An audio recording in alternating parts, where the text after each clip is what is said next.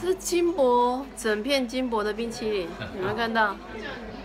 恐怖的金箔，这么大一片，这这样一只最豪华的金箔冰淇淋，一只大概八百九十一日币，所以算成台币是三百块台币，有没有很惊人啊？我现在在的是呃金泽金泽市的东茶屋街，东茶屋街的这间的博一啊，我其实去过他本店，然后去这边体验过一些东西啊，你看。